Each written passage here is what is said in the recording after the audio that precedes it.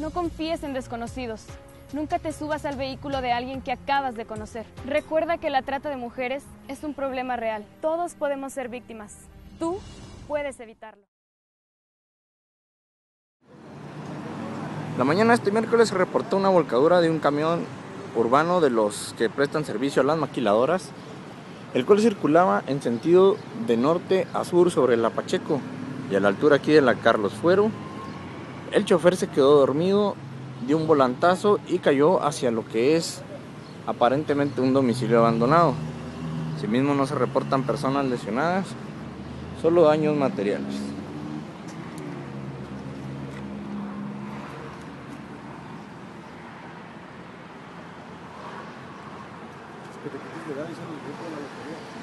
Informo. Diario.